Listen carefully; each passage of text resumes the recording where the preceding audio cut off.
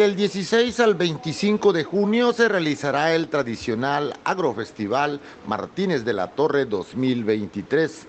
El comité organizador de estas fiestas patronales ha preparado una cartelera artística que seguramente será del agrado de los martinenses, pero también de la gente que visite este municipio en los días de feria muy buenas razones para que la gente de los municipios vecinos pues se den cita del 16 al 25, al 25 de junio. Bueno, este nada más va a haber dos días de cobro, que es el Día del Fantasma y Grupo Matute, los demás serán totalmente gratis para que traigan también a sus pequeños, a sus pequeñas a los juegos y bueno, la seguridad y la diversión está totalmente garantizada. Serán 10 días de diversión 100% familiar con juegos mecánicos, actividades artísticas y culturales pero también de exposición de diferentes productos de Martínez de la Torre y la región.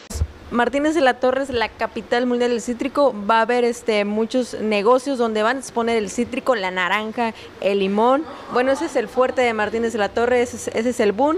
También habrá la Feria de la Mujer donde habrá este, varias este, mujeres emprendedoras. Durante los 10 días del Agrofestival en el Teatro del Pueblo habrá actividades artísticas, sin faltar los juegos deportivos, las conferencias y la exposición ganadera.